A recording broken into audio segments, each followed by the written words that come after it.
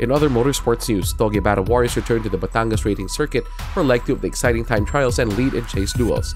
At the end of an exciting day of racing on the track, Karl Mallen topped the bantam class of the Touge battles.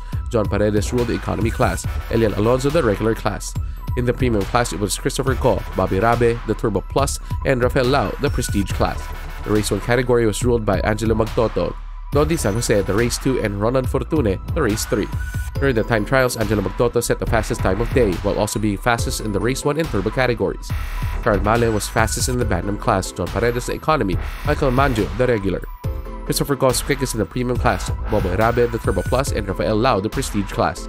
Lance Binamira set the fastest time trial times in the race 2, FWD and NA categories.